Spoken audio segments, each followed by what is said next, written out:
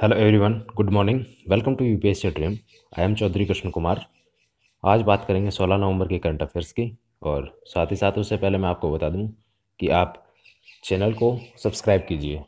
सबसे पहले तो आपका काम चैनल को सब्सक्राइब करना है। उसके बाद वीडियो को ज़्यादा से ज़्यादा अपने फ्रेंड्स तक शेयर कीजिए ताकि उनको भी बेनिफिट मिले। इन दिनों में मैं देख रहा हूँ कि आप लोग नए वीडियो को शेयर करते हो और न ही अपने फ्रेंड्स तक शेयर करते हो, न किसी फैमिली मेंबर तक शेयर कर रहे हो।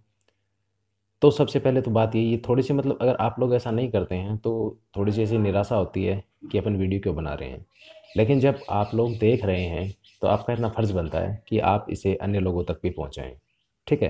तो ज़्यादा से ज़्यादा वीडियो को शेयर किया करें, ताकि आपको भी बेनिफिट मिले और उनको भी बेनिफिट मिले और मेरे लिए भी थोड़ा अच्छा हो। कभी कभी ऐसा लगता है कि अपन बना क्यों रहे हैं? जब आप लोग शेयर ही नहीं कर रहे हैं, लोगों तक बांट ही नहीं रहे हैं, ज्ञान को जितना बांटोगे, उतना अच्छा होगा। सो फ्रेंड्स चैनल को सब्सक्राइब कीजिए और वीडियो को ज़्यादा से ज़्यादा शेयर कीजिए। चलिए शुरू करते हैं आज के करंट अफेयर्स सबसे पहले, भारत का सबसे बड़ा पशु मेला कौन सा होता है? भारत का सबसे बड़ा पशु मेला पुष्कर मेले को कहा जाता है। यहाँ पर ऊँटों का मेला लगता है। पुष्कर मेला अजमेर में स्थित है। अजमेर अजमेर को राजस्थान का हृदय स्थल भी कहा जाता है।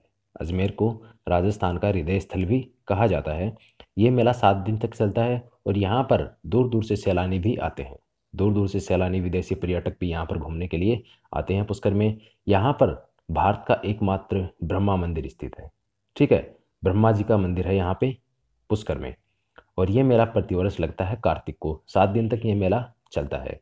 तो ये आपको ध्यान में रखना कि भारत का सबसे बड़ा पशु मेला है पुष्कर का अजमेर में। ये ऊँट मेला है। 16 नवंबर 1945 ये क्यों इम्पोर्टेंट है? देखिए, इसके बारे में भी आपको बताता हूँ। 16 नवंबर को यूनेस्को का गठन हुआ था।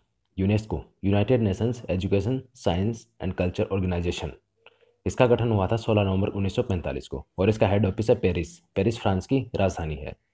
धर्म गार्जियन संयुक्त सैन्याभ्यास, जो मिजोरम में आयोजित हुआ है, ये किन दो देशों के मध्य होता है?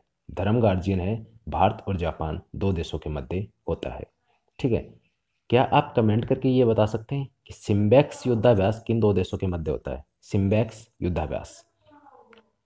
नेक्स्ट अंत्योदय योजना। अंत्योदय योजना के तहत सर्वश्रेष्ठ गाँव का पुरस्कार किसे मिला? तो अंत्योदय योजना के तहत सर्वश्रेष्ठ गाँव का पुरस्कार मिला है कुलगोड गाँव को।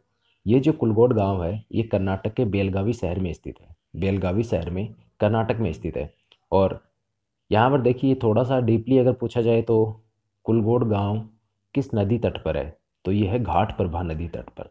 घाट प्रभा नदी तट पर। नेक्स्ट, महाराणा प्रताप अजय योद्धा। पुस्तक की लेखिका कौन है? यह पुस्तक है महाराणा प्रताप अजय योद्धा। ये अक्टूबर में इसका विमोचन हुआ है और इसकी लेखिका है रीमा हुजा। रीमा हुजा। और इसके अंदर महाराणा प्रताप व अकबर से संबंधित बातें लिखी गई हैं। क्या आप कमेंट करके बता सकते हैं कि हल्दी घाटी का युद्ध कब हुआ था? विश्व विद्यार्थी दिवस कब मनाया जाता है? विश्व विद्यार्थी दिवस 15 अक्टूबर को डॉक्टर एपीजे अब्दुल कलाम की याद में मनाया जाता है प्रतिवर्ष 15 अक्टूबर को। कमेंट करके आप ये बताइए, doctor A P J Abdul Kalam Bharat के कौन से राष्ट्रपति थे? किस नंबर पर थे? यानी कौन से राष्ट्रपति थे? किस नंबर के? Thanks friends for watching my video